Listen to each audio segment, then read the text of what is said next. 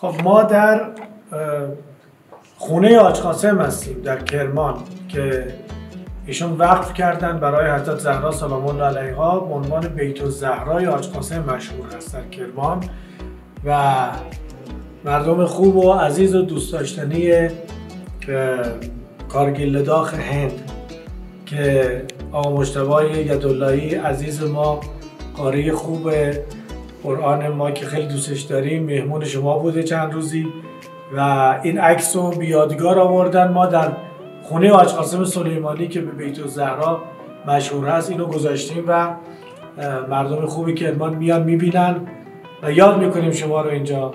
شیعیان خوب و دوست داشتنی که یاد مؤسس این مجموعه ارزشمند مؤسسه یادبود امام خمینی رضوان الله علیه که عاشق محمد حسین زاکری بودن. ایشون رو ما بزرگ میداریم و همه پیروان مکتب امام خمینی که پیروان مکتب اسلام هند پیروان مکتب قرآن هند همشون رو یاد می‌کنیم همشون دعا می‌کنیم. برای همتون آرزوی بهترین ها رو داریم. در پناه قرآن و اهل بیت اسمت و طهارت در پناه آقا رسول الله صلوات الله علیه.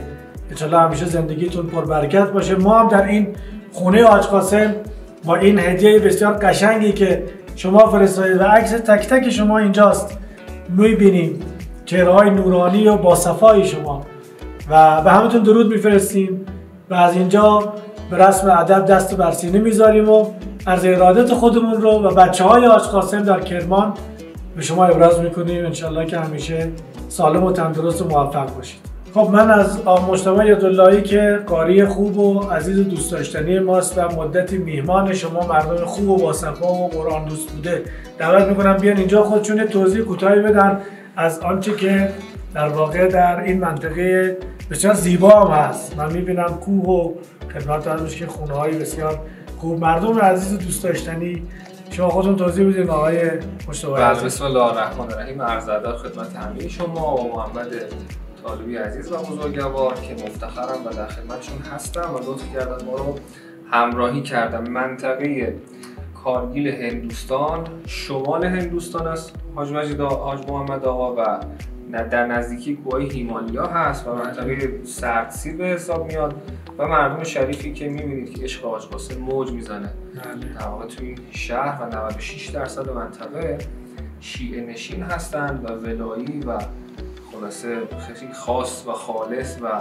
درجه یک من دو هفته ای رو در نیمه دوم ماه رمزون مهمان دوستان بودم و خیلی لذت بخش بود برای من که از شهر آج بیام و مهمان دوستان بشم و از همینجا مجددا من از میهمان نوازیشون تشکر می‌کنم. دو هفته خیلی طلایی و شیرین برای من گذشت و امیدوارم که حالا برای بنده و باقی رفقای قرآنی باز هم اتفاق بیفتد. اینجا عکس شما بیادگار اینجا هست و مردمی که اینو برای بازدید در واقع از مردم نشین تراز و درجه که هند.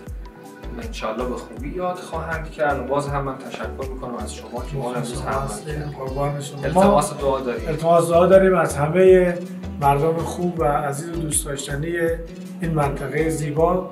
من دعوت می‌کنم تشریف بیارید کرمان ما میزبان شما باشیم و برای ما دعا کنید. انشالله انشالله در تدارک هم که انشالله حالا دی ماه امسال بتونن رفقا بتونن بیان. اگه بیان که فوق العاده هست حتما. انشالله اتفاق بیفته. التماس دعا. منتظرتون این التماس دعا قربان شما. خدا نگهدار.